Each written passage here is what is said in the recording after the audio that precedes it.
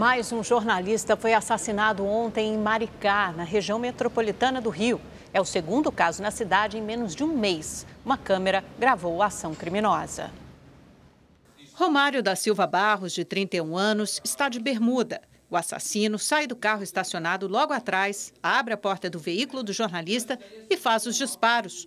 O automóvel dos criminosos deixa o local em marcha ré. Romário trabalhava no portal de notícias Lei Seca Maricá.